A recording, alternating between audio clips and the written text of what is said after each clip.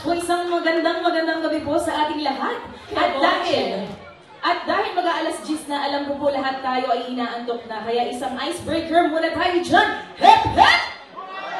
Mahina po pag sinabi kong hep, hep, sumigaw kayo ng hooray! Hep, hep! Hooray! Mahina ulit yung hep, hep. One more time! Isa pang hep, hep!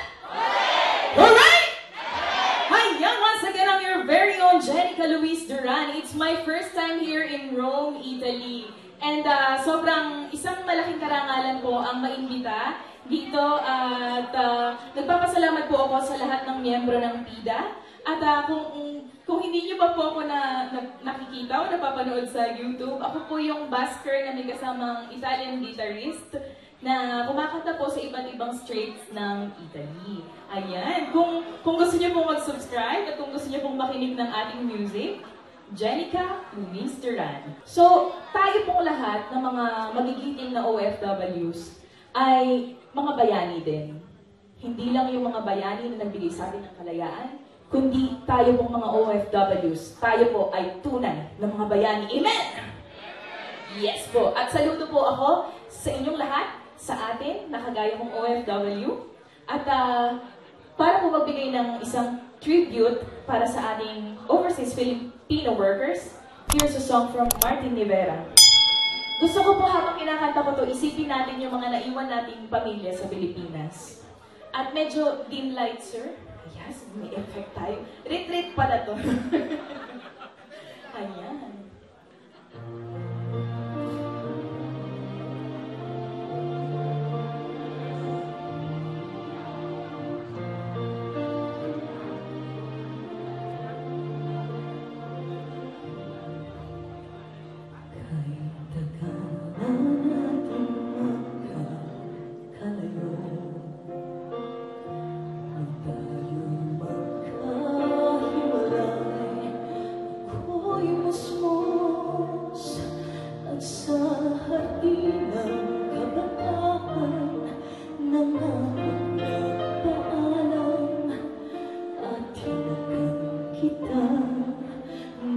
Gatas pa sa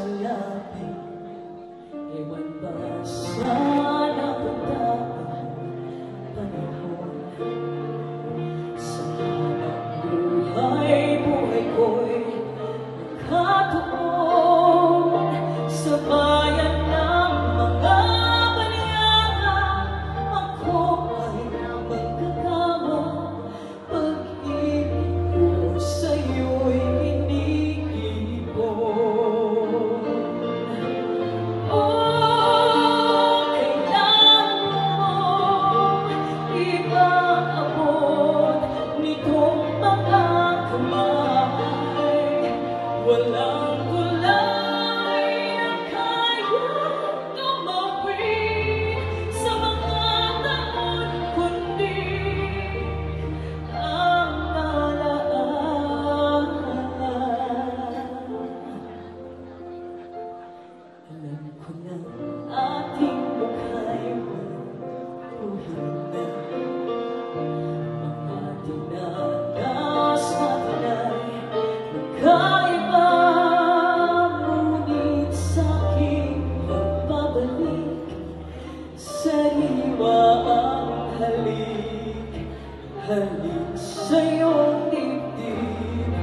above.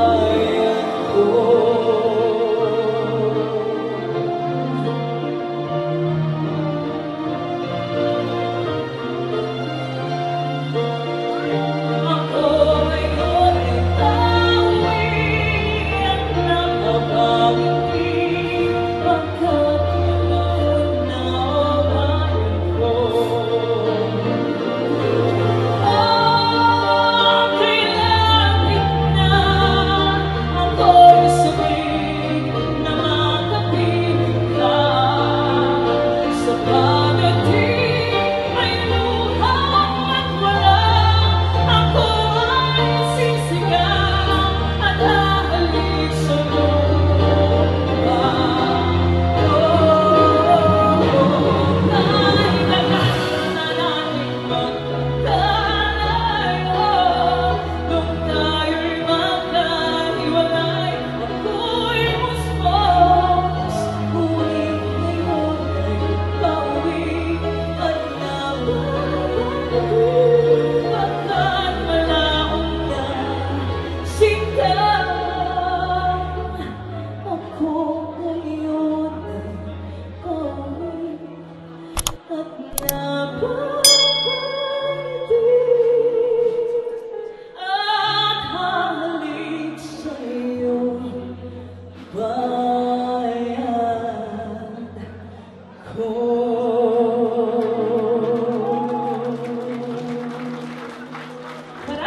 salamat po at sana sa ating pag-uwi ay magdala tayong lahat ng ngiti sa ating mga labi. Maraming maraming salamat.